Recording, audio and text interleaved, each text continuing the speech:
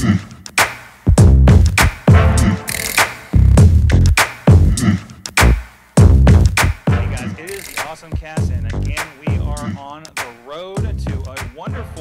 location here. If you're watching us on the video version down here in Carnegie, PA, talking to the guys behind Replay FX and uh, and, and some awesome pinball tournaments uh, going on. Well, of course, please check everything out at awesomecast.net. Subscribe to this show and the Awesomecast itself on Stitcher, Spreaker, iHeartRadio, and of course the video versions on Facebook and YouTube as well. With me today, like I said, we got two guests here in this awesome. Um, the, the, the I like the when I come into a place like this, and I felt this play this way with Replay FX. It's the happiest place in Pittsburgh because look at all this. If you're a video game fan, pinball fan, it is like it, it, feels like it's forever. Uh, but uh, uh, of course, Fred Cochran joining us and Doug Polka, who are involved in various ways around here. Tell us what you do here. My name's Fred, and uh, assistant festival director, along with uh, Elizabeth Cromwell. Um, I do special events, uh, set up fundraising, um, move games, listen to Doug shout orders at me and tell me stuff to do. Um, we, we, we really don't really have titles. We just kind of do everything. You're the guys that hang out around here. a lot, quite a bit. Doug? What about you, Doug? I'm Doug Polka. Um, my unofficial official title is Director of Competition here. Um, I help run the Papa World Championships, which are hosted in this building, and the Replay FX uh, Festival, which ha- hosts a pinball tournament called Pinburgh, which is the largest tournament in the world, over $100,000 in prizes. So that's pretty much what I spend most of my time on. I was talking to uh, Fred before. Uh, you know, this is the place where, whenever we're talking about video game things that are going on, uh, uh everybody would, would talk to me about like, hey, I hear there's this pinball place down in Carnegie, PA, where they do like the World Championship or something. I'm like, I need to hear about this. I need to find out about this. And, and I'm so so glad that you guys let me uh, come in here and check the place out and, and sit down with me. So so tell me a little bit about like what is this? You know what what is this this this facility in in general? Go ahead, Doug. You go first. So, so this is the uh, Replay Foundation headquarters. Um, Papa and Replay FX are basically under the umbrella of a nonprofit called the Replay Foundation, and basically we promote uh, video game competitions and video game culture, and we try and preserve some of it. Um, this is our, we call this our world headquarters, situated nicely in an industrial park in Carnegie, Pennsylvania. Um, it's a, it's an old actually sausage packing plant that um, the uh, turkey nuts some kind of meat Probably packing both. plant. Turkey, sausage. Sure, why not? Everything. Uh, and Now it's pinball. yeah, it's basically been converted into a giant uh, pinball and arcade warehouse.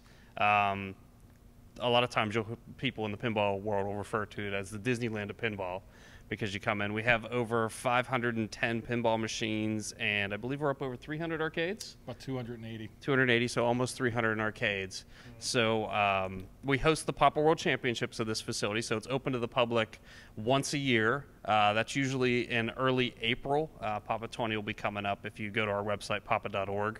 Um, the dates will be posted there soon with the details of that event. It's awesome to hear that you guys are a nonprofit, and the, there there could be a nonprofit around video games of all things, right? Uh, because I mean, it's things it's the thing that mom said I need to stop playing more of when I was younger, right? But now, like this really is a part of culture, and, and we look at technology today. I mean, this this is a lot of the the the background and how we got from you know A to B with what's in our pockets right now with, uh, with smartphones and stuff, right? Uh, you know, how significant is it that that you know that that kind of preservation of this video game culture? No, personally, I think it's invaluable. I think uh, when you talk about the tablets and phones and all the different devices we have to play the games, nothing will replicate walking up to one of these pinball machines behind me or any of the video games that we have in our warehouse and play them. There's nothing to replicate that. It was a huge part of my childhood. You know, I grew up in the 80s right when it first boomed. And for me, I would spend all my paper route money on video games. I'd walk three miles to go to the nearest arcade and blow all my money. Um, it was a huge part of my life. And again, it's great to reintroduce this to um, people these days that either have either uh, forgotten about them, they even exist, um, are being reminded of them, or they're just witnessing for the first time. And the nice thing about our event is that we get to reintroduce it to kids and families. And when it's a kid that played a game of, you know, Pac-Man on his tablet with a touchscreen, and then is actually holding a joystick and playing the actual game that it was created, it, to me, it's it, it's so much different and, and such an important part of this culture. Um, it's great that they're replicated digitally, but um, playing them, to me, you can't be replaced. And also, besides the, the past history of which we have plenty of here, um, uh, you know, pinball machines are still being produced. Arcade machines are still being produced. Like, and obviously, console gaming is bigger than it's ever been um, in the history of entertainment, really. And it's just such a huge part of a lot of people's lives. It's nice to be able to not only preserve the past, but we're also working on preserving the future as well so that in 20 or 30 years when we're no longer here somebody else will be in this position and they'll be able to show them the games from you know the 2000s That's awesome. That's awesome. It, it kind of like, hey, this is what I played when I was your age, kind of stuff for the for the kids, right? Um, I, I know for me, uh, you know, there's a lot of games between you know your Replay FX event and, and other things I've been to, whether it be barcades or whatever. There is a lot of, oh yeah, I remember that Ninja Turtles game. I remember that Xbox game. But there's a lot of um, stuff that maybe I only experienced because like I was playing with MAME emulators around 2000, right? And it's great too. Like where I walked in, and you were playing Robotron, Right. and you're talking about like how that was your Zen thing, and I'm like, you know, I played a little bit it on, on, on an emulator, and it's just it's not the same experience because you're doing it on a keyboard or whatever you have. It's not what it was meant to be. Yeah, the experience playing the two games, even on an Xbox, you can play Robotron on your Xbox with the thumb controllers, but it's a totally different game. When you play it in front of a cabinet, like I said, you get the essence of the game. It's not the same when you have the Midway Gaming Collection or whatever, right? And I have them all, and they're great Right, for, right. for what the, what they are. They're tremendous. It's the same as digital pinball, which is really big right now. They're replicating past games and games that are being created now. Right. It's you know it's preserving them digitally so people can enjoy them, but it's it's so immensely different. It's um, uh, there's, there's there's there's nothing like getting four people on a gauntlet machine. Oh sure. oh absolutely I mean that like versus like hey everybody gather around and grab a controller or do it over the internet or something like that. Like it's still nothing like just just being shoulder to shoulder because we're a little bigger than we were when we were kids trying to play that game, right? We're a lot And, bigger uh, in my case. and uh, but yeah, that that kind of thing. No, when we do uh, special events, like we did uh, a pinball night down at the Heinz History Center, we took down 50 games. Uh, most of them were pinballs, but we took some video games, and we were very conscious about picking the games that we wanted to have groups of four people playing them. So we took the Gauntlet, we took the NBA Jam, we took the Simpsons, um, we took a lot of the games where you had to stand side by side and actually play somebody. And you can trash talk sitting right next to them as opposed to a headset or through FaceTime or whatever the case may be these days. Um, and again, it's just it's a different experience. Yeah, because I know definitely Replay FX. I know you know I spotted the X Men machine. Big fan of that. It's on my phone again. You know, but but still, anytime you see the arcade, you gotta sit down. And it, and that was one that was lined up for a while when I was there for that day at Replay FX. Yeah, we we consciously put those games in areas where people could enjoy them too, because there are so many times where maybe you'll have a game and it'll be in a cramped place, and you have to really kind of sardine yourself into being able to play it. We consciously put them on the ends of the, of the rows so people could spread out and play them and not have to worry about that, so they could be comfortable doing it. Um, again, those are the games that most people want to play because you know, it's, like it's said- a unique experience that you can't Right. replicate Correct. fully on a digital Right. emulator And it's a big, um, it's a big discovery point too, because I know we were walking through replay, and there was some Japanese game where you're a bride that's running and then throwing up high at the spectators, and, and that's Hyper Bishi Bashi. Yeah, Bishy yeah. Bashy, yeah. I got Dutters uh, addicted to that game. I, sh- I introduced her and the two zombies to it, and I said, "You're going to be here for a couple hours. Have fun." I walked back, and literally an hour, hour and a half, they were still there playing it. Oh, yeah. It's an it's an insanely just bizarre game, but it is incredibly addictive. It seems it seems like it's uh, for for anybody that's- that's familiar with for a comparison point. It seems like kind of a WarioWare type game where it's a lot of mini games kind of thing. Yeah. Yeah, it, it, it's just a bunch of mini games. There's another game uh, that we have. It's uh, import called Panic Park, um, where basically two people have these controllers that you you actually bash into the other other person's controller to do various things, and it's all just a bunch of mini games, but it's incredibly fun. An- Another one that stuck out for us when we were visiting Replay FX this year was the um, the uh, rail cart game, where your two That people. was it. Oh, Yeah. that- that- That's that Panic one? Park, Oh, right. that's Panic Park. No, That's- the minecart game. The That's a uh, game. Oh, the Magical oh, Truck Adventure. You know what? I forgot about that. We actually brought that back to life. I was showing you in the back how we, we changed the screen to an LCD screen. We that wasn't there the first year we did the event. I'm sorry. I apologize. It was amazing just watching the guys, and I was coaching them. Is uh, their their teamwork. It was a team building exercise for the guys. That was right in the Yeah. front of the building. It was actually one of the first games that you saw, I think. Yep, That, absolutely. that game requires quite the expenditure of energy too. like, if you haven't played it, you should see if you can find one and play it. If you thought Pump It Up and Dance Dance Revolution was tough, you got to try that game yeah. because it's a it's a lot of movement, using your back a little bit. Uh, definitely a lot going on there. Yeah, So- I'm not. I'm not riding any mine carts anytime soon. It's you're, not not, you're not doing uh, No. Dance Dance Revolution either. I have like eight left feet. It's not happening. Oh, I'm all allowed. about that game. Uh, but anyways, so so you talked a little bit about uh, Replay FX, of course. Um, it, it, it- your second year this year at the David Lawrence Convention Center, and it is. I loved walking in there. Uh, This was my first year attending. My friends got to got to last year, and and I walked in, saw the dim lights and the wacky uh, wavy balloon men and, And like- lasers. and Lots of lasers. and I'm just like, it's a, it's the biggest arcade ever. Like the, the, the atmosphere was there. Th- Tell me a little bit about that event and, and, and kind of the conception of we're going to take all of this and move it downtown for a week.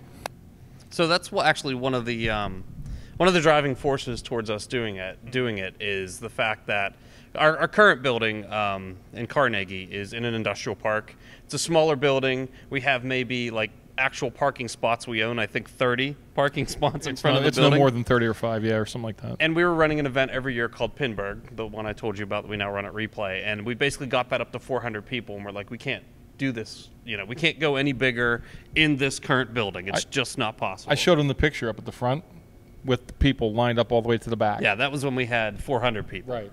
So we wanted to make it bigger, and you know, we thought let's let's just let's have a huge arcade convention. Like the other bad thing is for like the World Championships in Pinburgh, we get people from all over the world. Like we get people from Japan, from Sweden, you know, a bunch of Europeans come over, and the only parts of Pittsburgh they see are from the airport to Carnegie, and it's like. You're kind of getting ripped off of the Pittsburgh experience if you're not able to like come Carnegie's through the. Fort Pitt Tunnel. Carnegie's great, but you're up here in an industrial park. We love and, Carnegie. You know, our, our friend Slice on Broadway are down here in, in Main Street, so you know. Joe's uh, Cafe is down There here. you go. Uh, Carnegie's awesome. happening. Carnegie is awesome, but we wanted to be able to expose more people to not only a bigger and more massive event, but let's get them into the city. Let's see if we can do something to incorporate Pittsburgh more into what we're doing. So we looked into our director Mark Steinman looked into uh, the running out the DLCC, and uh, the first year we had it, we had uh, just one hall or two halls. Uh, we had one hall the first year. 110,000 square feet, just 110,000 And last year we square feet. expanded to two halls, and we'll see what happens for uh, for year three. But I mean, the feedback we got from people just from moving it from here to Pittsburgh was amazing. Just because you know we have, like I said, all the Europeans that came in that have never seen the city, and they get that awesome view of coming through the Fort Pitt tunnels and having you know Pittsburgh ex- explode in front of you, which is amazing. And just the, just the uh, the river view from the convention center is amazing too. Just I, I just love walking up and down there anytime in there. I'm in there for for some kind Yeah, the. DLCC is a world class facility. Oh, yeah. like you know, and and a bunch of the people um, just have never seen it. Like, there's no, there also isn't like any real major convention there. Mm-hmm. Um, so we want to we want to bring more people to the city. We want to you know, besides promoting the arcade culture, we want to expose those people to the awesomeness that is Pittsburgh as well. Well, the, well, the one big thing that uh, everybody had asked about was um, events going on in the city while they were here. And half the people probably that come to the festival go to Pirate Games because it's right across the river, and then the view from the baseball park is phenomenal. And um, again, you go to the casino, you go to baseball games, you go to Kennywood. There's a lot of different things that open it up. You know, having it in the city. So that- Museum right around the corner Yeah. too. Right. Yeah, the Warhol Museum's right near there. Um, there's a number of different things. Uh, the eateries around the the convention center now are amazing. Like you know, 10, 20 years ago, it was they, they weren't even there. Now you have all these you know microbreweries and all these specialty restaurants and things like that. So it makes sense for us. It makes sense for the city. Um, in order to do that, because again, we're bringing people into the city that can enjoy other things besides our festival um, as well. So. And, and again, you guys, you we talked a little bit in advance here about, uh, you know, it, it's the video games, it's the pinball, but you guys also really represented the console gaming. And, and, and that was something going in. It's like, I don't think I'll spend much time over there. I have a lot of video games. I, you know, I got, I got a pretty good NES collection, but, but still, it was like, oh, I never played that game on the Saturn. oh, I never played that game over there. Oh, I've never touched a Neo Geo before. Um, what was kind of the, the philosophy there going into uh, including consoles in this? Well, as far as the consoles, it's it's obviously a, a very large part of the culture these days. A lot of people, um, you know, again, I started off with a, an Odyssey back in the 70s, and then went to an Atari, and then it, it just grew from there. And I've been through every, every iteration of a system all the way up to the to the current systems. But uh, the one thing we found is we have the new systems. More people were interested in playing the old systems. And we have old CRT TVs, which you saw in the back. We have 25 pallets of them or whatever.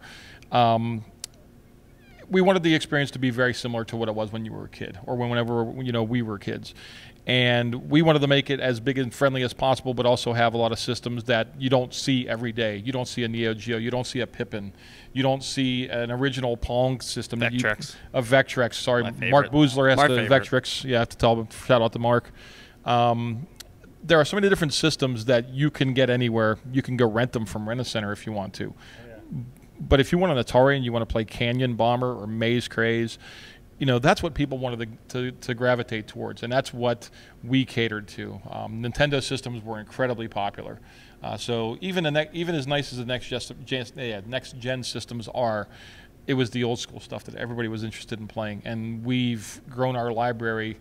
Uh, probably double from what it was last year because of that reason, because the the demand was there. Yeah, and besides having the um, all the arcade the consoles that were set up, we have almost an, a rental station where you can go back, and we have three thousand games to choose from. So if if you walk up to the NES and the game you want to play isn't in there, you just walk to the back and say, "Hey, do you guys have you know River City Ransom?" And they'll be Oh. like, "Sure, here it is." Yes. It's a great game. Oh, it's one of my, one of my favorite old school 8 bit games. Yeah, I, I get excited just thinking about playing that game because I played a ton of it when I was a kid. But yeah, it's it's it's nice to see again the kids. If you spend any time over there, you probably saw a lot of kids sitting in front of those TVs playing the old school games that they just don't have access to or are playing on a digital platform and getting that experience. And they'll remember that the next time they come, they'll play even more of the older games. Also, really big. Um, uh, I, you guys had um, uh, the Super Nintendo CD PlayStation uh, prototype that was in the all over the internet news here and over the last year.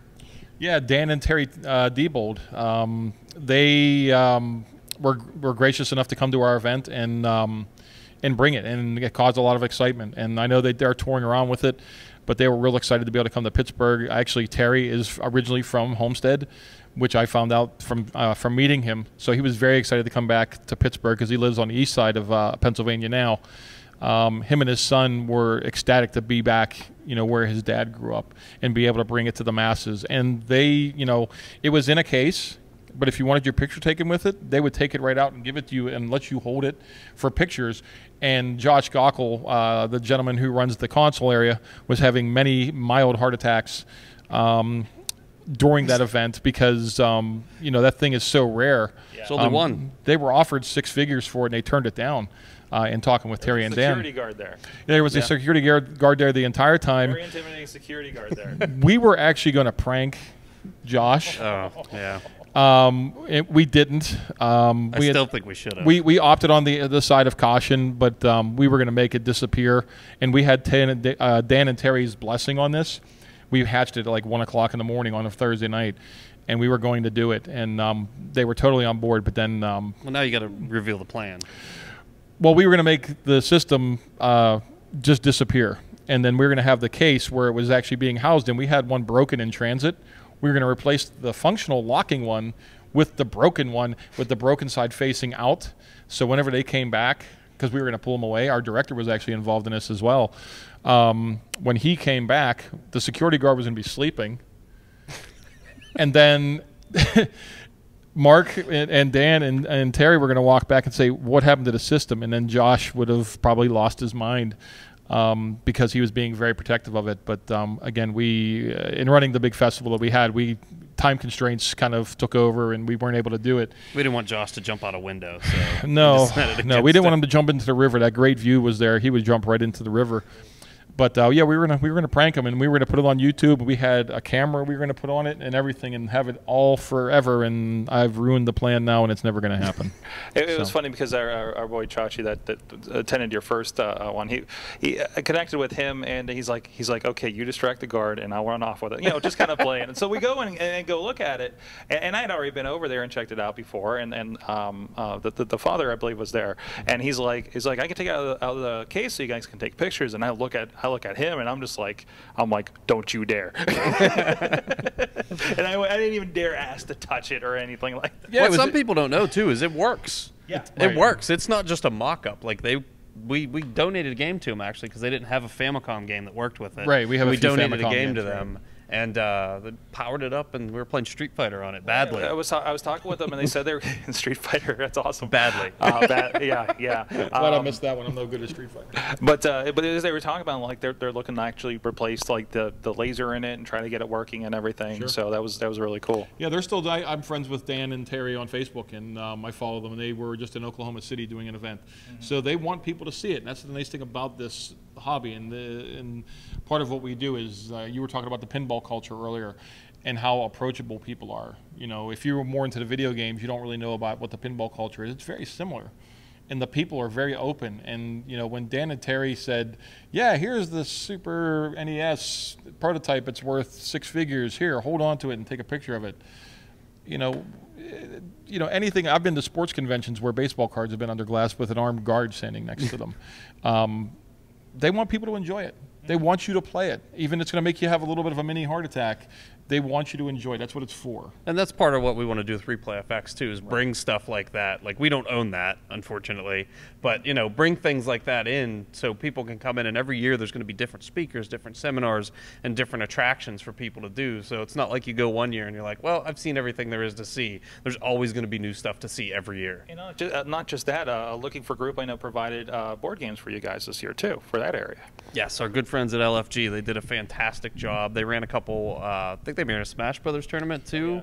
Yeah, they had a Um, Smash Brothers, and they also had some of their independent games that they were being played, and they had tournaments going on for there, and they had their own little booth at the front of the console lounge that was busy constantly. Nonstop, It was nonstop. constantly busy, and uh, John and his and his crew, uh, they did a phenomenal job, were and we're fantastic. really looking forward to the future with them. And the, the console lounge grew from last year. It was sadly it was almost an afterthought up on the third floor. And then we realized nobody was playing the games. We moved them down to the, to the second floor where the ping pong table was this year, and then this year it was in the lobby where it deserved to be in the first place. And they um, they did a tremendous job with it. Uh, uh, speaking about that pinball culture we talked about before we started recording here, um, it, it was really eye-opening for me to see kind of that pinball culture in person um, at Replay. From seeing like the vendors that just had parts, like pinball parts, like like sure now. I'm like these are just lights and these are just just you know bumpers and and, and, and who knows what. And and uh, and then walking around the competition area and watching how serious this is. Um, it, it, it was it was really interesting for that. And, and of course that, that that's the big kind of cornerstone of what you guys are doing here Yeah, like one of our, our major things is this, you know, we started running the World Championships of Pinball. Um, we picked it up after it was uh, defunct for a couple years, um, and that's been run here. And then, like I said, we run Pinburgh now, which is the giant event at uh, Replay FX, which has 700 players, which we sell out in less than a day. Every spot is gone, over $100,000 in prizes. We use 280 machines in the tournament, 280 unique machines in the tournament. Um, but even on the competitive side of it, it's you know there's the there's the you know because in Pinburgh you have 700 players and obviously they're not all top 50 players because there's 700 of them. Um, but you get the full range. You get the people who are super serious about it, you know, and then you get the people that are just there to have a good time and meet new people and just you know play a couple play a couple games of pinball and hopefully win some money. So it's it's really a wide variety of people that even participate in the competition. Well, it's more than a couple games. I think they probably play what about a hundred 40 games. You play 40 games. Forty games. Yeah, you're guaranteed forty games, right? Yeah. So, yeah, it's it's it's it's a great thing to get people new into the hobby. And how many new? Probably what? 100 new participants this year, maybe more than that. There was a lot. I don't I don't know the yeah, the exact numbers, It's it's great to see that though, because every year, if you're just getting the same people year in year in and year out, you're not growing what you want to do. And if you get a bunch of new people in there like that, that's tremendous. Yeah, and that, that tournament has grown. Um, that tournament only started six years ago, and we're already up to you know 700 participants, and maybe looking to expand in the future. So obviously, replay in, in the competitions are, are the big cornerstone. But I know we were talking. You guys are looking to kind of expand out. I know you contributed some machines to the Heinz History Center event recently, and uh, and some other things like that. Can you speak a little bit to that and how you're you're kind of um, um, work, looking at different outlets uh, for for reaching out with video games?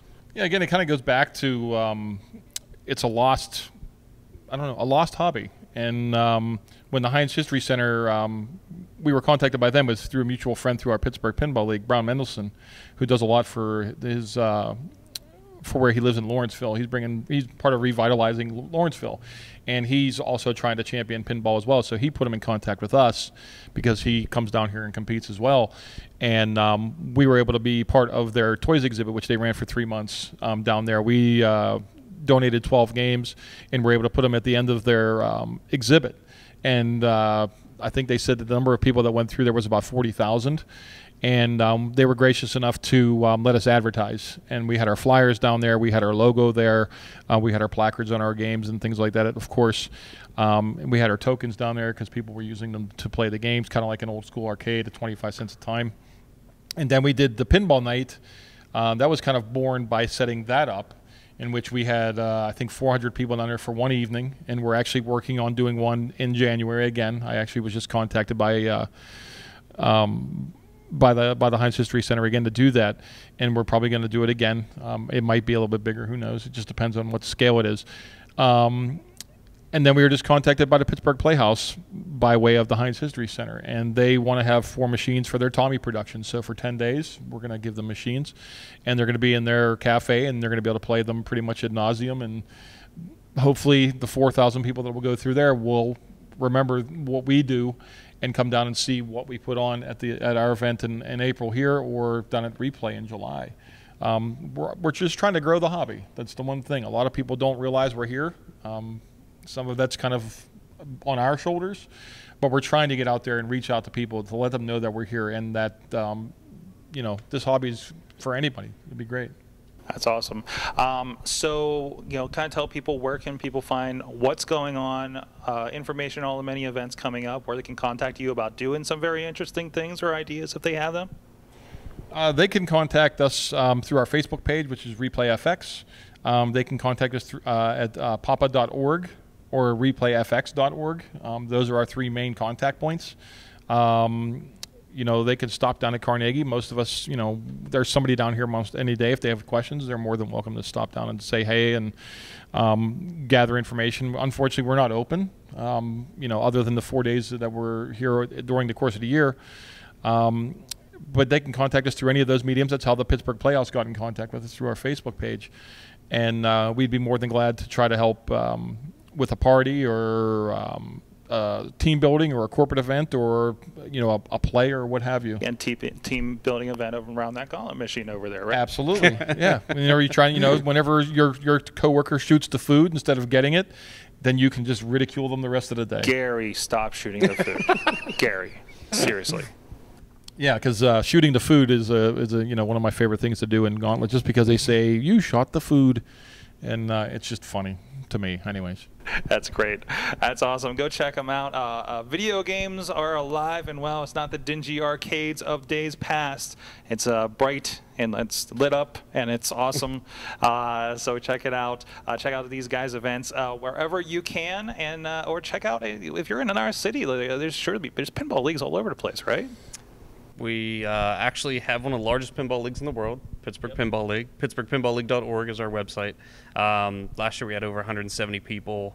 This year we're trending. Yeah, we're at 140 just come right to, now. Just come to Pittsburgh, yeah. guys. This come, is this is where it's at. They come got, to Pittsburgh, join the league. We'll take care of you. You'll have oh, a yeah. great time. Go, go, you check it out. Get some Primanti's. You're good to go. The other thing too is that we have our league finals here. Mm-hmm. So we're not open during the rest of the year, but if you get to come in and play our league, you pay 20 bucks to play you have our league finals here, and we're giving away a pinball machine this year. There you go. Or this season, should I say? So. That's awesome. Go check them out. Uh, and of course, check out all the interviews over at awesomecast.net. Subscribe. Thank you to my awesome guests and let me into their awesome facility. You guys have an awesome week.